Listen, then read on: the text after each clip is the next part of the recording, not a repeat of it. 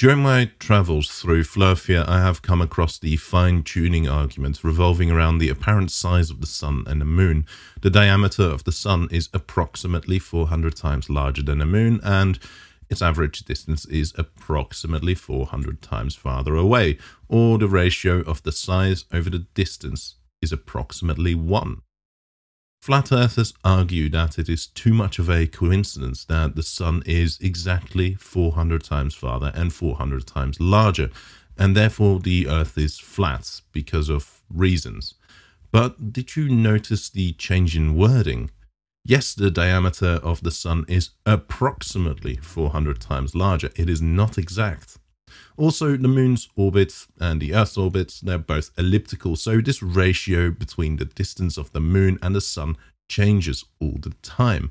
As a result, we get things such as an annular eclipse like this one.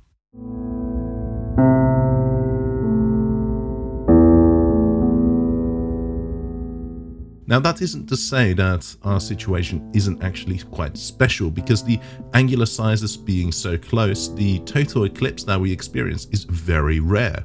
It is actually quite reasonable to believe that if we were visited by aliens, it wouldn't be because of a desire for dominion over our planet or weird sex games. The aliens would most likely just want to sit on a deck chair with a cold beer and watch this spectacular event.